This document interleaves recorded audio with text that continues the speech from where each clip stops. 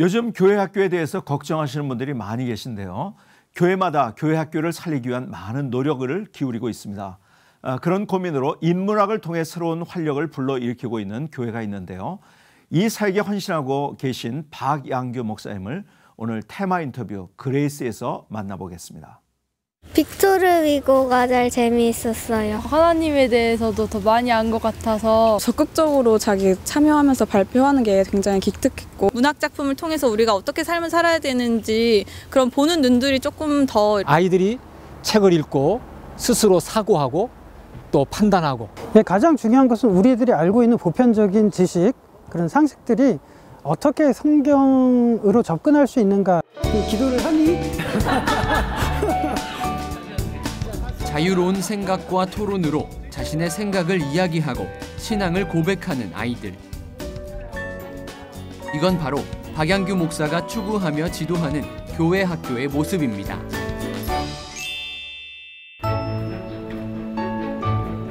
서울 노원구 성덕중앙교회 아이들의 즐거운 발걸음이 이어지는 곳.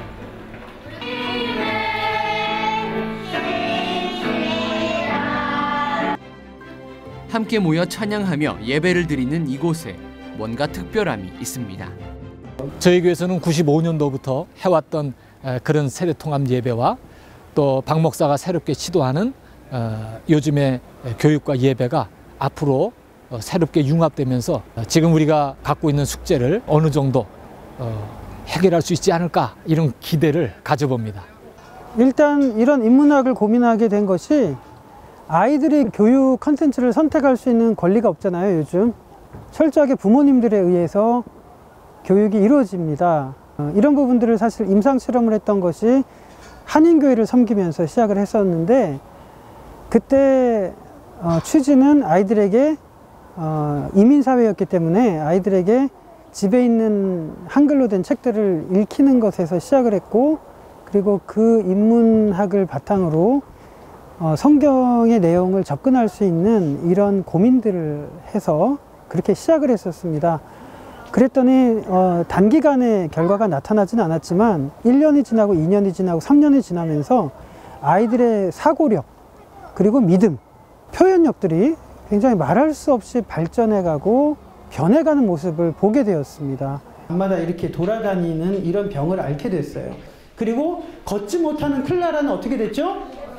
예, 걷게 됐습니다. 그러면서 행복한 결말로 끝나요. 그러면 여러분들 슈피리가 우리 어린아이들에게 이 클라라의 할머니를 통해서 주고자 하는 메시지가 무엇일까요? 예, 가장 중요한 것은 우리들이 알고 있는 보편적인 지식, 그런 상식들이 어떻게 성경으로 접근할 수 있는가 그 부분이 가장 중요한 내용이라고 생각을 합니다. 그래서 성경하고 관련이 없는 부분들은 다루지 않고요.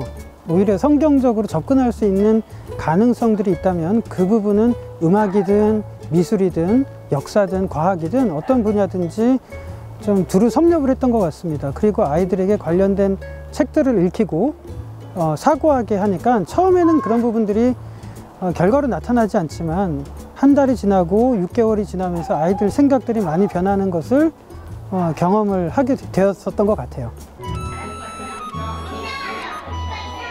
아이들이 변하고 있다. 시간이 지나면서 아이들의 변화를 경험했던 건 박양규 목사만은 아니었습니다. 저희 교회 주일학교에서 그 매주 한 권씩 책을 읽는 그런 시간이 있는데 저희 아이들이나 부모 입장에서 봤을 때 굉장히 유익하고 또 너무나 감사한 일이죠.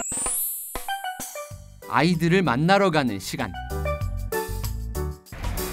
박양규 목사에게 이 시간은 그 무엇보다 가장 기다려지고 기대되는 때입니다. 어, 제가 고전을 통해서 인문학을 통해서 아이들과 소통을 하면서 함께 판피 어, 시스템을 운영하고 있는데요. 책을 통해서 같이 배워가고 토론하고 소통하고 이런 가운데서 하나님에 대해서 더욱더 어, 좋게 알려줄 수 있는 기회가 되는 것 같아서 매우 긍정적으로 생각하고 있고요. 책 못 읽어, 못 읽을 거야, 뭐 이런 식으로 얘기를 했대. 근데 할머니가 읽을 수 있어 라는 식으로 생각을 바꿔줬지. 만약 고민이 있다면 그것을 계속 숨기거나 혼자 끙끙 앓지 말고 하나님께 진심으로 기도하라고 알려주는 것 같다. 자, 여준이가 고민이 있거나 속으로 끙끙 앓았던 적 있나요? 어... 고민이... 그... 아니 있어서 때릴 거야. 때론 크게 웃고 그러다 이어지는 대화 속에 진지한 시간. 경직되지 않은 자유함 속에 아이들은 세상을 하나님을 그리고 나를 만나는 소통을 배워갑니다. 믿음 노트를 하면서 더 많은 지식을 쌓게 된 것 같고 하나님에 대해서도 더 많이 안 것 같아서 되게 좋은 것 같아요. 성경 말씀도 좀 더 잘 이해되고 더 읽게 됐어요. 여러 작가들이 쓴 여러 가지 문학 작품을 읽으면서 그 안에 있는 작가가 전하려는 뜻도 알아볼 수 있고 그 시대의 교회의 상황이나 상황 배경들 여러 가지를 찾아내는 것도 정말 재미있어요. 무엇이 아이들을 달라지게 하는 것일까? 무엇 때문에 아이들은 변하고 있는 것일까? 박양규 목사는 여전히 교회에서 그 답을 만들어가고 있습니다. 어, 혹자들이 이야기를 할 때 5년 후에 한국교회 주일학교가 뭐 몇 퍼센트 줄어들 거라고 하는 그런 관측들이 있습니다.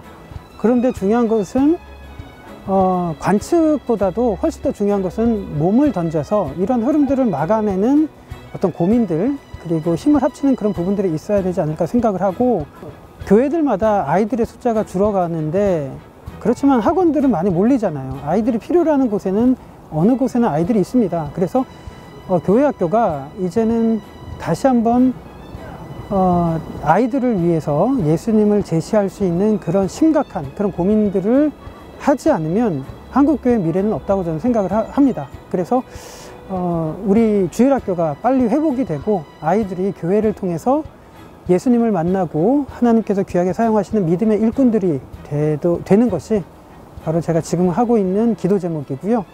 저는 아마 평생 이 일에 어, 몸을 던질 것 같습니다. 교회에 희망이 없다고 말할 때 그 자리에서 다시 씨를 뿌리는 사람으로 살아가고 있는 박양규 목사. 교회 교육을 통해 삶과 신앙이 분리되지 않고 삶 속에서 예수님을 알아갈 수 있도록 지도하는 그만의 특별한 교육이 주님의 사랑을 경험하고 만나는 소통의 장으로 쓰여지길 간절히 바라고 있습니다.